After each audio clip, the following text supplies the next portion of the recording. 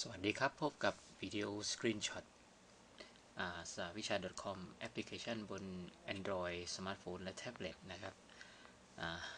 เดี๋ยวขออนุญาต compile โปรแกรม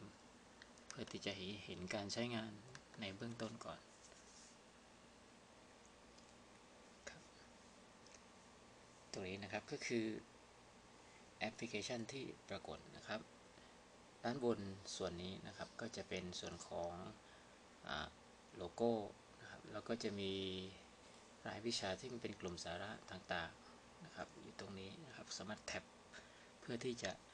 เข้าไปดูในแต่ละสาระการเรียนรู้ได้นะฮะ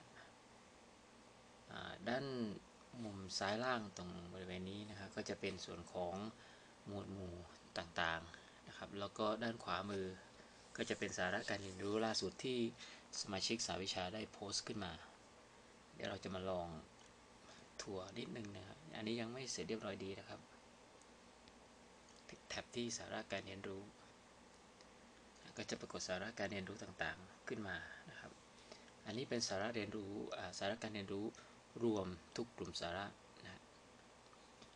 ถ้าเราจะเจาะจงเลือกเป็นแยกเป็นรายสาระวิชานะก็ไปที่หน้าแรกนะครับ ผมลองดูวิชาคณิตศาสตร์นะครับ คลิกที่คณิตศาสตร์ตรงนี้นะครับ เลื่อนมาแท็บ คณิตศาสตร์นะด้านบนก็จะขึ้นคณิตศาสตร์นะแล้วก็จะมีเรื่องของคณิตศาสตร์ขึ้นมาให้เราดูนะครับ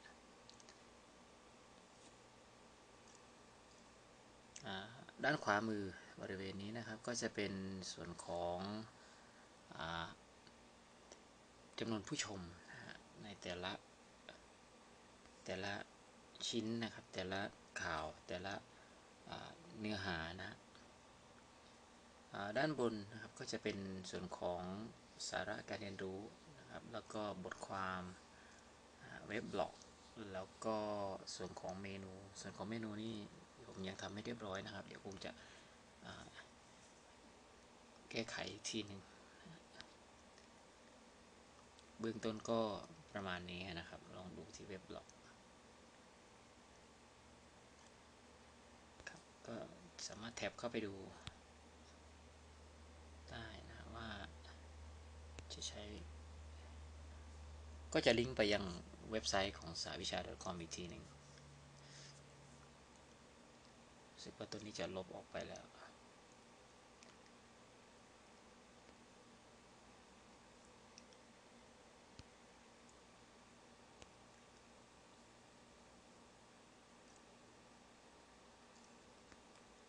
อาจ จะเป็นบั๊กจากตัวโปรแกรมนะฮะเดี๋ยวผมลองดูอีกทีหนึ่งว่าผิดพลาดตรงไหนอลองดูที่สาระการเรียนรู้